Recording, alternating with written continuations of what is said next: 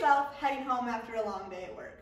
You grab a quick snack from the fridge, sit down on the couch, wrap yourself in a warm blanket, turn the TV to your favorite channel, and begin to wind down.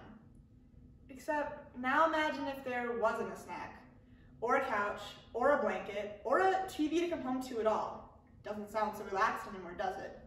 But hey, at least you have a roof over your head, clothes on your back, and shoes on your feet, right? Now imagine if you didn't any of that either. Sadly, this is the exact same circumstance for thousands of Americans across the country.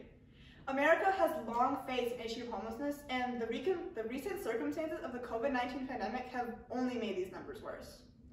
In the next few minutes, I will be addressing this increased issue of homelessness in the country, why some may experience homelessness, and some ways this devastating issue can be lessened. When people hear the word homeless, oftentimes the image of a poorly groomed person holding a cardboard sign or an empty cup may often come to mind. This is the stereotypical image of what homelessness is, when in reality, it goes much deeper than many people can imagine. Altogether, according to the National Alliance on Homelessness, by the end of 2019, a total of 567,715 American citizens were left with no place to call home. Currently, almost half of the homeless population are individuals living on the streets alone. One third of the homeless are families. One fifth are chronically homeless, meaning they have been homeless for more than a total of 12 months. One in 15 of the homeless population are American veterans, and one in 16 are youth, living on the streets unaccompanied by anyone. Sure, the total number of homeless people may seem small compared to the near 332 million other people living in the country, but in what world is it right for anyone to live in the streets for any reason? This crisis has only become more dire with the current circumstances involving the pandemic inflicting trauma all over the world. One detrimental cause of the virus has been the large spikes of, un of unemployment affecting citizens all over the country. As a result of unemployment, Columbia University professor Dan O'Flaherty states in the Community Solutions blog published on May 11, 2020, homelessness could increase by 45% in just one year.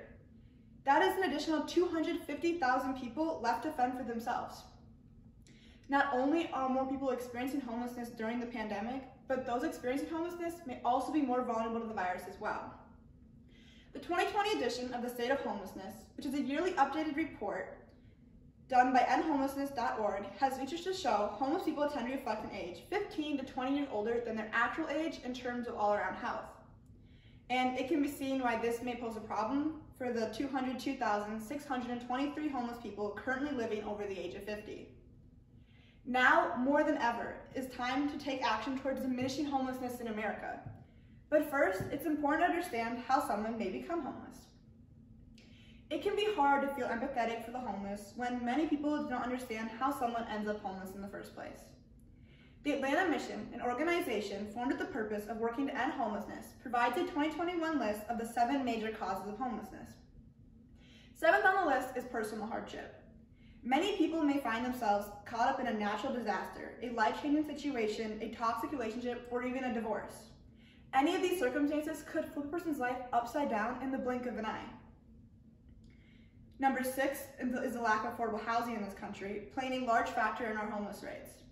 In many places, America's minimum wage of $7.25 just doesn't cut it, even for some of the less inexpensive, the more inexpensive housing.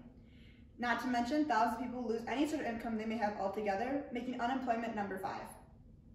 Unemployment affects people everywhere, while in some cases, some people may find work, but are still working in poverty, as number four states. So even with a job, people may not make enough to afford housing or food. Moving into the third spot on the list is abuse. This leaves life out on the streets when someone escapes their abuser and in turn has nowhere to go after. Illness and disability are the top two causes of homelessness, as it can be hard to maintain a work life if one is physically unable to do so. Finally, the lack of healthy relationships is the top reason for homelessness. If one cannot maintain a trusting relationship with others, then who can they turn to when they face a situation that leaves them out on the streets? It can be hard to understand how someone becomes homeless if you don't really know how someone lives life on the streets every day. John Chalice, a concerned citizen for the homeless, decided to go out one day in the summer of 2017 and interview some of the homeless community living in Austin, Texas. John first met with Thomas and Charles, two able-bodied men in their 30s, when one of them approached John asking for money.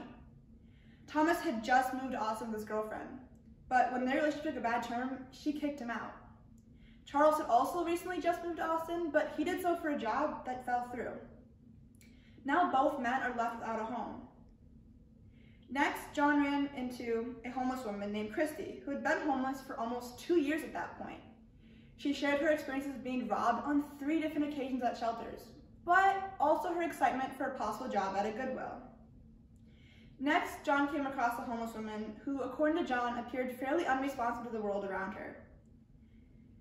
She wore rags on her feet instead of shoes, and after trying many ways to break through to her, John was unable to do much more than get her name and buy her a few things from a nearby convenience store. These were only a few of the people John encountered, but every person John met with was facing their own impossible situation. Homelessness is never the fault of the person experiencing it. And being without a home is sadly a result of many uncontrollable issues, and it's our country's job to help these people get back on their feet after facing such hardships. The scary thing about homelessness is that it can happen to anyone at any given time. People of every ethnicity in America face homelessness, and it's not something you can prepare for or sense coming. Victims of homelessness are not to blame for their circumstances, and ultimately, there are a lot more things our country could be doing in order to help bring an end to homelessness. As addressed by the United States Interagency Council on Homelessness, changes in our country's housing, healthcare, career pathways, crisis response system, foster care education, criminal justice involvement, and preventative measures can all help to lessen the homelessness burden in America. A few examples related to these solutions would be to implement more affordable housing or more supportive housing, such as shelters. Other examples would be to implement more access to useful job training, such as those coming out of homelessness, as well as more accessible and attainable health care provided by health and care providers. Along with the many things our country can be doing, there are also a number of things you yourself can do in order to help those in need. Martha's Village, an organization created to help those less fortunate, provides an updated list from 2019, giving many examples of what you, as a citizen of the United States, can do to support the homeless community in America. One key way you can help locally, however, is through donating a cash contribution to shelters and organizations such as Mary's Place or People Serving People located in Minneapolis, Minnesota. Or Operation Help, an organization focused on providing resources to those in need in the St. Croix County area, located in Hudson, Wisconsin. Another way you can help is through volunteering. Places to volunteer at would be a local food service, a children's service, a homeless shelter, or a Korean education center, Sponsoring a food drive in your area, or even donating your old clothes are also examples of ways you can help. Even the smallest action done by an individual can make a huge impact on the lives of those in need. Homelessness is a growing issue in America, but it doesn't have to be. Consider the situations that contribute to the factors leaving people without homes and begin to think proactively within your community in order to create positive changes towards minimizing this wide-ranging issue of homelessness in our country. Being homelessness should not be a death sentence. There are so many solutions to the problem, and all it takes is a little action from society and yourself.